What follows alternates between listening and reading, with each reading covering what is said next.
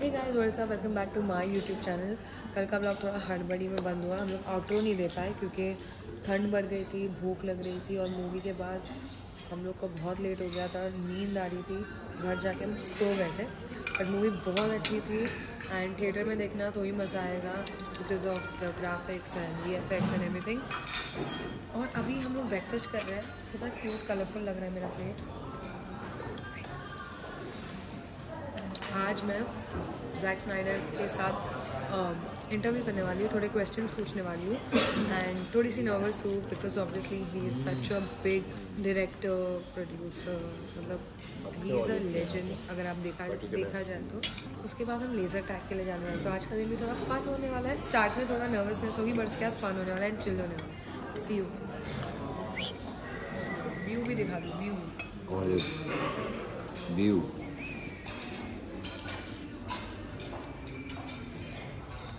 ये रेबल इतनी शांत क्यों है क्योंकि अभी हम इंटरव्यू के लिए जा रहे हैं बहुत नर्वस है गाइस अभी अचानक से मुझे पता चला है कि सिर्फ़ जैक नहीं हम लोग जो बाकी कास्ट है उनका भी इंडिविजुअल इंटरव्यू होने वाला है और क्वेश्चंस रेडी नहीं थे तो अभी बैठ के मैंने क्वेश्चंस रेडी किए hi so my name is Nagma Mirajkar I am a content creator from India India, where? Mumbai? Mumbai I've been there. Oh wow did you like it Yeah, I loved it. I loved the food. food actually. yes Yeah. do come again yeah, I would love to.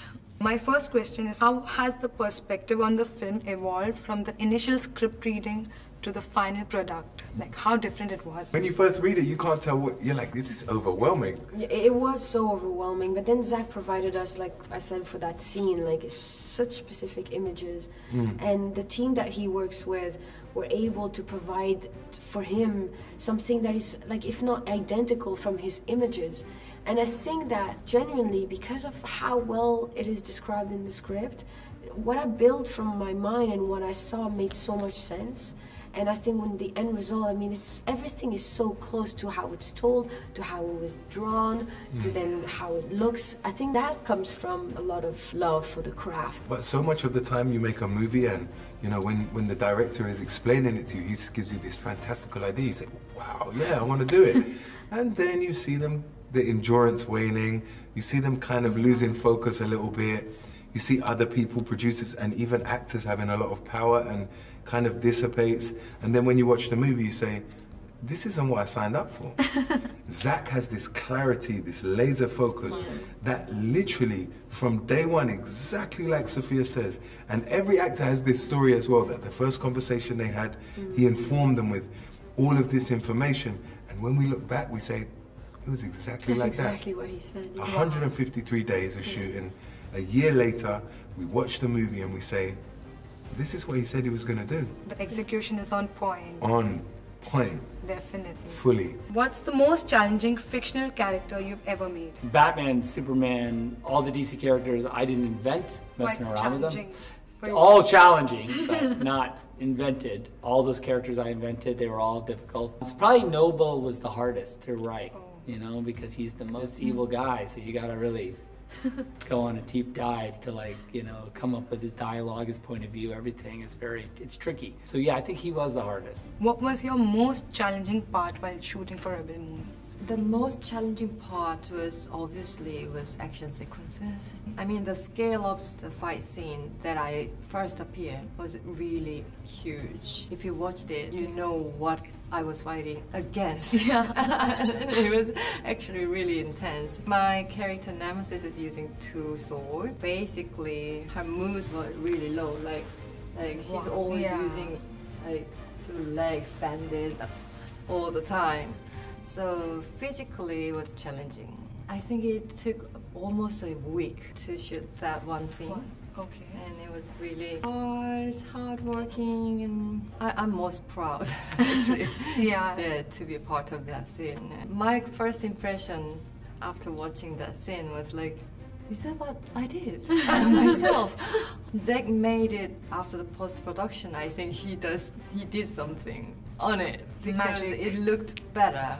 It looked better on the result. What was your inspiration behind creating this character of Cora? Cora was like inspired to me. I wanted her to be both hero and then slightly troubled. You know, I didn't want her to be completely clean. Yeah. She was really inspiring because I knew she was this cool character. We all want to be her. But then I had to keep putting these like small impediments up. In the end, when you finally lock in with her, it has to be through a little struggle. It can't be so easy, you know. For Sophia, is there any specific scene or a moment in the movie which you particularly are excited for the audiences to see? I think I mean there's I mean there was so much for the audience to discover and I mean I feel like every frame literally or every different location that the characters go to is an exciting moment because Dagis for example where we discovered Duna and another uh, place that we feel like you're in Rome like when we go to Pollux when we discover uh, Titus. Titus played by played by Jaimin and then when we go on Nuwadi, when we see the bird, like there's every single time there's like so many elements that are mesmerized. I think the Sharon. audience. Which was Sharon. your I think favorite? I really like the last scene that is between Noble and Belisarius.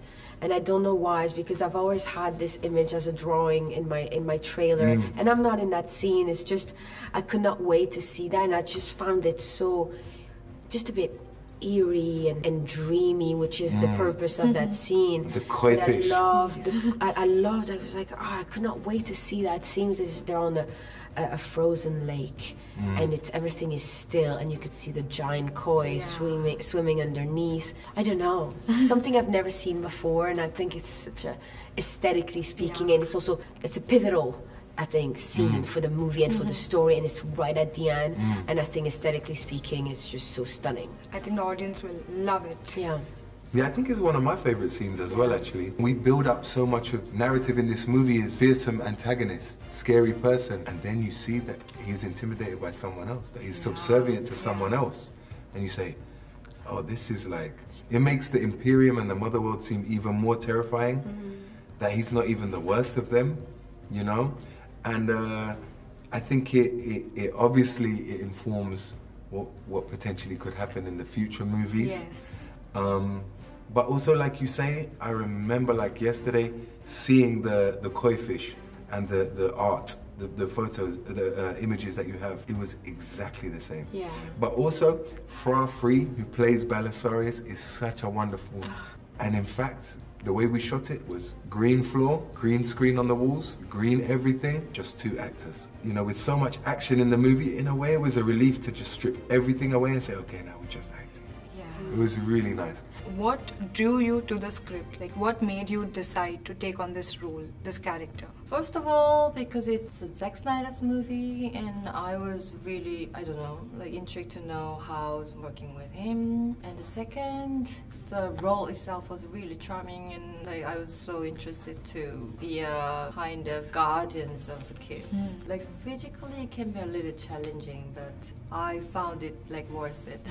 Thank you so much. So I saw the movie last night. You guys did a fabulous job. Thank you. And all the best for the movie. Thank you. Thank you so much. Thank you so much. It was lovely talking to you. So big fan of your work. Oh, thank you Please so much. Please create more of zombie movies. Okay, I promise. तो finally interview खत्म हो गया और हम अभी जा रहे हैं एक्साइटिंग टास्क के लिए तो हमें रेबल मून रेबल मून का टास्क टोपी में बैठ गए इसमें और पीछे देखो क्या व्यू है रुको मैं दिखाती हूँ क्या ही व्यू है दिख नहीं रहा ना बट क्या ही व्यू है। हाँ आया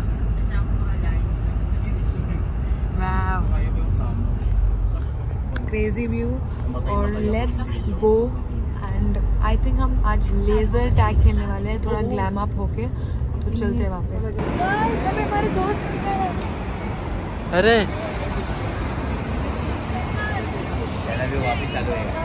बाय डोरेमोन का है।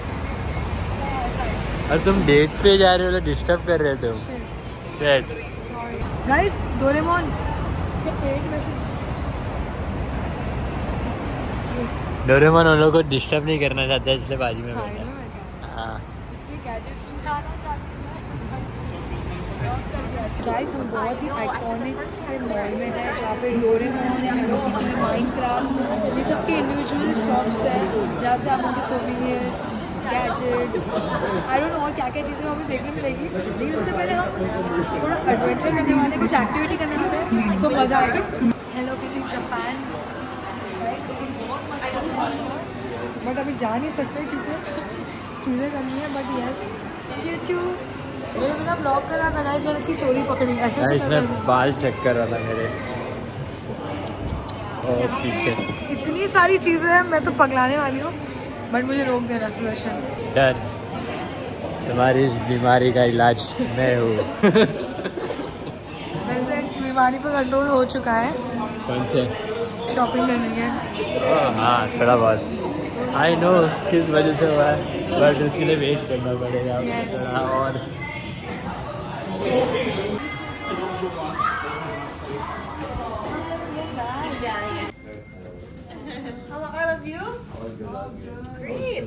watched the movies last night. I see you even did your own your own eyeliner already.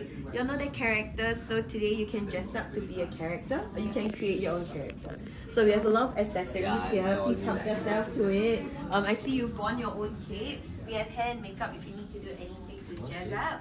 Right, it's for the arm here. if you need so to. Guys हम यहाँ से कोई भी चीज़ लेके अपना खुद का कैरेक्टर बना सकते हैं तो सुल्तान बनना चाहती हूँ सॉरी हाँ टाइगर सॉरी टाइगर तो मैं टाइगर बनना चाहती हूँ। Yeah. लेट्स सी और भी कुछ है।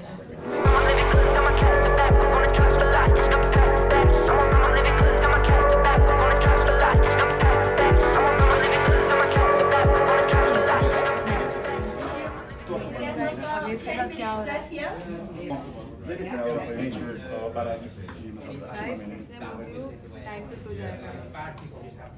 Good with it. It's a good thing that you did your eye makeup. Warrior लग रहा है टोपी के साथ क्राइम मास्टर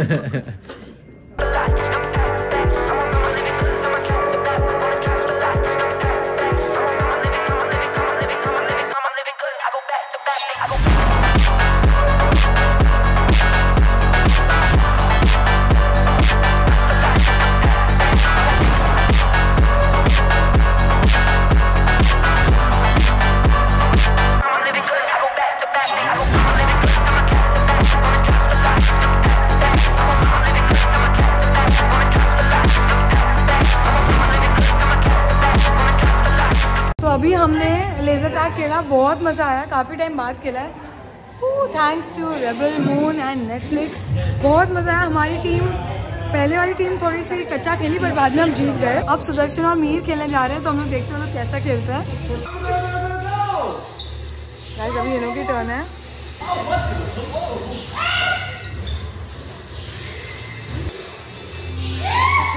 अरे, मेरा डीओपी गाइस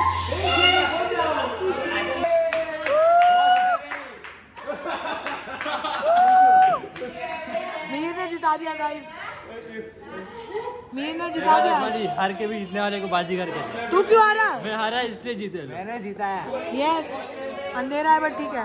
सो so, बहुत मज़ा आया लेज़र टैग खेल के। अभी उन्होंने हमें छोड़ दिया है। बोला आप लोग शॉपिंग करोगे मॉल में। और हम माइंड क्राफ्ट के स्टोर के नीचे है। और यहाँ पे सारी my God, guys, मैं माइंड क्राफ्ट एक दो बार ही खेली हूँ। मुझे बिल्कुल समझ में नहीं आया था सच बता रही तो मैंने बंद कर दिया खेलना। बट आई नो कि कैरेक्टर्स और ये सब कैसे कैसे होते हैं। बहुत क्यूट लग रहा है और ये जो वेंडिंग मशीन है इसमें आप डालोगे तो ये निकल सकता है। बट अनफॉर्चुनेटली हमारे पास चिल्लर नहीं है।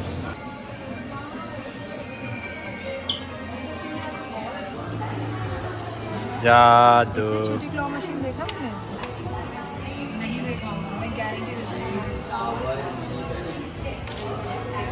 लगभग सिंचन आ गया। मेरा नाम भी है। मैं से बड़ा बड़ा हो गया सिंचन बड़ी मुश्किल में पड़े। मेरी फैमिली नो आ रहा Come on, baby, come on baby आओ करे डांस शुरू। ज़ोर से घूमे हम तुम घूमे। नाच। नाच। देखो सबको हिला दो। पागले पागलो। कभी चलता है कभी ये मचलता है एकदम बेकाबू। रोज करता है नहीं नहीं अरे सिंचन सिंचन। गाइस हम एक स्टोर में आए हैं जहाँ पे बहुत क्यूट क्यूट चीज़ें मिलती हैं आपको दिखाती हूँ इधर आ जाओ मतलब आपको यहाँ पे इतना क्यूट क्यूट सामान मिलेगा यहाँ पे ये चॉपस्टिक होल्डर है। आप घर पे खाते हो? चॉपस्टिक से ऐसे चॉपस्टिक साइड में रखना है तो इसके ऊपर रखना है। डोनट भी है। ये छोटी सी बोट भी है। एंड सबसे cute panda just looking like a wow तो अभी हम थोड़ी सी शॉपिंग करने आए हैं ये जियो में, जो कि थोड़ा थोड़ा ये बेसिक जहाँ पे सारी चीज़ें मिलती हैं, वो मिल रही है। लेकिन यहाँ पे एक दिक्कत है, सब कुछ यहाँ पे स्मॉल मीडियम लार्ज में मिलता है। मतलब कपड़े का तो समझ में आता है बट शूज़ भी स्मॉल मीडियम लार्ज है। तो समझ में नहीं आ रहा है कि क्या करें। देखो ये अग्स की जैसे है। You think I should buy one? No, I don't think so. तो गाइस मुझे ड्रग स्टोर के बहुत सारे प्रोडक्ट्स चाहिए थे जिसका मैं बाद में आपको अच्छा सा वीडियो बताऊँगी कि मैंने क्या क्या लिया है। तो अब मैं शॉपिंग करती हूँ आपको बाद में मिलती हूँ।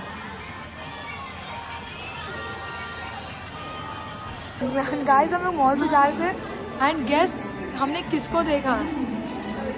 नोबिता का दुश्मन। दो नहीं ये नहीं डोरेमोन असली डोरेमोन। डोरेमोन। ये तो जियान है। तो जियान है इसका मुँह डोरेमोन के कपड़े में जियान। सूट वूट पहना हुआ यार? गाइस जब पेट में खाना जाता है जो मज़ा आता है पहले हम सब इतने इरिटेटेड थे बट खाना खा के वो भी इंडियन फ़ूड खा के जो मज़ा आया है। सबका चेहरा देखो। थैंक यू हमारा। सबका चेहरा देखो। खुशी में। खुशी में भी नींद में भी है। खुशी ये देख। खाना अरे चाहिए। देख।